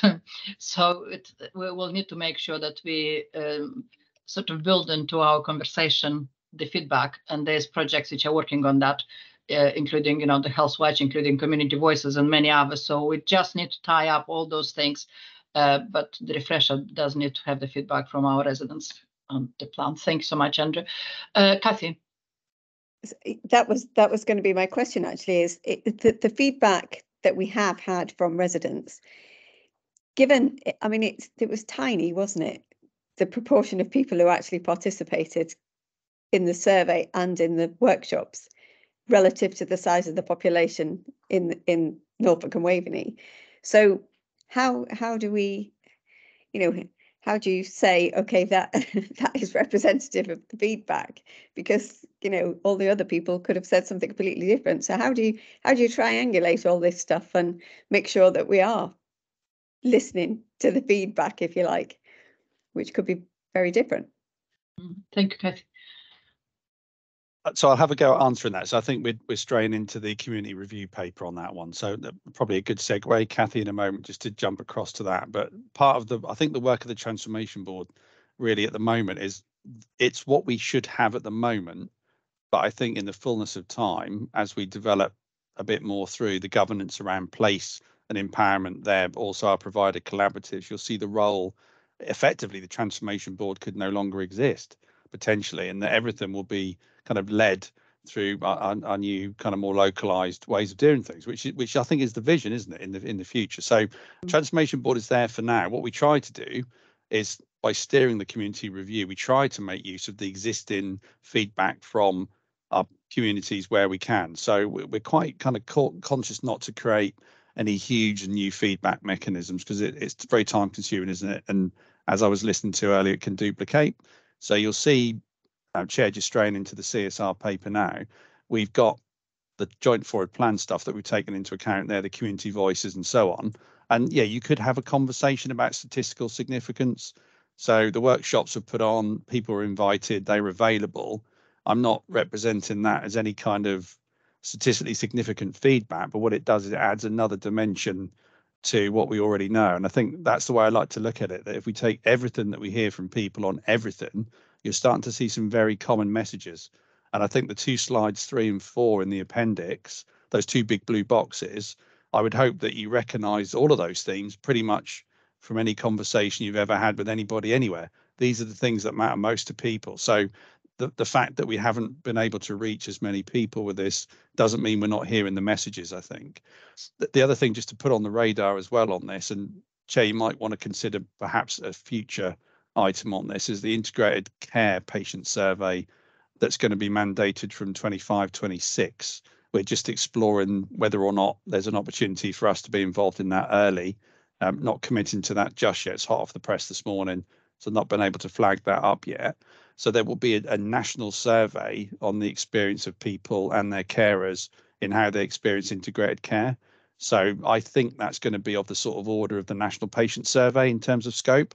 So I think, Kathy, at the moment, we're kind of trying to fill that gap at the moment. There'll be something more robust nationally in the future. But yeah, at the moment, we're trying to bring together all the feedback that we've got to shape shape that as far as we can. Uh, you know, and I hope that the committee recognises the messages contained in that paper in mm. those mm in those two blue boxes. I certainly do. Andrew, okay. thank you. Uh, Thanks, Andrew. Uh, just for, for clarity, so when I was asking about the joint forward plan and actually asking our residents if they see any difference from what we're doing, I was really referring to joint forward plan across all priorities, yeah? Kathy brought us nicely into, uh, in a way, linked it now to the community services. Uh, and you already uh, explained some stuff uh, about about it, but would you mind if you just give the highlights? Because blue boxes could be in all sorts of presentations. I'm sorry, but if you just give us the highlights now on the community services review update, uh, so then we can finish with that one, please, Andrew. Yes, of course. So uh, the, the community review is is is broad and wide ranging, and and hopefully you'll be aware of it from some of the communications that we've put out, but it's very important to note that the first stage really has been a listening exercise. So the whole work to date has been to hear from staff, people that use our services and communities about what they think about their current experience. So when we move into the future phases around how might services be provided differently, we do that from a base of having listened quite carefully. And I remember, um, Alex, we met over at your HQ, didn't we, as part of the JFP work, just to try to understand the things that matter most to people. So we're taking what we can from every source. So the workshops were available in each of the place areas. and place teams were invited to those. Place chairs were available, were invited to those, and they were reasonably well subscribed. And actually, we did learn some quite interesting things from it. And the key themes, really, if you don't have the slides in front of you, are about care being more joined up. So something you would absolutely hear everywhere. Information sharing. So that so back to the telling your story once came across pretty strongly. Actually expecting us as providers and organizations to communicate and collaborate better with each other. So, you know, it's it's a responsibility on us to sort ourselves out so that the people that use our services have a better experience. Talking about the right amount of capacity within the community, thinking about how we can make people's death the experience that they would choose. You know, how do we develop that kind of choice of place of death and actually that whole experience and actually having that conversation came across also quite strongly. Voluntary sector involvement came in and you know, how do we make sure that those people that are working closest often to patients and our communities actually are involved? And I caught the tail end of that conversation some positive stuff I think there. And and really the kind of final summary points we're thinking about how might we move money and resources around? How might we support the development of places. So we have that much more localized service design. And this isn't just about kind of having place as a label. This is about making it mean something. And, and i think to be honest we're still wrestling a bit with how we can bend nhs governance to support that but we will find a way. And also really thinking about the best patient pathway. And, and I, I guess the overwhelming message i would hope most people recognize is about how we can help people stay at home as long as possible, how we can make sure that we design services around patients. So nothing particularly brand new, I would say, in here, some slightly different perspectives, but just good to see that that we've got a sort of consistent feedback across this and the joint forward plan. And many of you are much better placed than I to judge whether that's representative, but it seemed to be from from my perspective. So that, that's what we've heard. Happy to have a conversation if that's helpful. Mm. Andrew, thank you so much. Uh, yeah, I'll have my reflection if I may. I'll support Kathy's concern in a way. I sat in some of those uh, engagement events. Uh, lots of representatives, professionals in the meetings rather than residents. Uh, so I'm not sure how representative that was, uh, and I'm not saying that uh, professionals don't have a view. Of course, they'll have the views they get from their uh, service users and so on. But nonetheless, in terms of the actual engagement with the wider resident, you know, population, I am not sure that was us telling us, or the information we got is as telling as it could have been. So uh, yes, if we can have some sort of reality checks at some point, to make sure that we are still up to date with what our local residents think it will be good. Uh, I'll leave you to think about that. But uh, it was a very good starting point. Definitely uh, good to get that going. And I think we just have to build up on that. Yeah. But um, it, lots is going on in that area too in terms of community services uh, reviews. So, uh, and can you give us a little bit of uh, sort of synopsis where we're going from here now with it? When are the decision-making processes going to take place and things like that? Yeah, so the the next stage is having consolidated what we've heard, but also had some further conversations with the partners, is to set up set up a uh, a project board. I think you'd probably call it. So we've got representation from the partners and other people if we need to do that as broadly as we can really whilst making it manageable to, to make it not an ICB based project now. This has been the beginning of it. So this will then be to kind of manage the business of the design work going forward. We've got already some interest from a number of partners about the areas that they would like to put in scope and some of their suggestions on how we could do things very differently. And the way that we're going to approach that is to agree a set of prototypes where in each of the place areas we try to find something that everyone's happy to get behind as a jointly agreed priority and use that to test out some of these ways of working. Because to, to think about how we might move workforce around how we might flow funding differently around the system how we might reduce the handoffs all the practical stuff that tends to stop a good idea from actually happening we're trying to find a method chair about how we can address that with a view to then rolling that out more widely. So the prototype approach is what we're going to work on in the next probably four to six months or so. And then the aim would be that we'd have some feedback and we'd be ready to roll with some of those changes from 1st of April next year. Subject to the consultation outcome on the ICB structure We've also got a, a slightly different focus within that structure and a number of teams that are facing towards places. So there'll be more capacity dedicated to support the partners in each place and help to bring them together and support them. And I caught the end of Paula's conversation there too. So for me, the success of this will be how do we kind of fit in and work alongside what's already there? And I guess my takeaway is that what might work in the east is not necessarily what might work in the west and so forth. And we've got to find a way to do it. Hence why we're looking at somewhere between three and five prototypes to give different places the chance to work differently. So that's the next step. Uh, at the end of that, basically, we'll have a a list of services that we consider to be in scope and probably in which order we think we should tackle them. But the aim with this is to bring other strategies in play as well. So, for example, the acute hospitals clinical strategy identifies a range of services that they feel would be suitable for provision outside of acute trusts. So we'll be looking at whether this can support that. And, and it'll be, uh, there's going to be a multi-year piece of work. So we would hope to have a much clearer view by the end of the financial year. Um, I'm happy to come back at some point between now and then with a bit more concrete detail as that develops. Appreciating it's a little bit vague at the moment, but that is a very early stage that we're at in the pro- in the process at the moment. Thank you. Thank you, Andrew. Before I go to Frankie, my plea, please, uh, if we can make sure that we don't create postcode lottery. I understand about the place, but also we need to be mindful that certain needs of the population are across the whole of Norfolk and Waveney.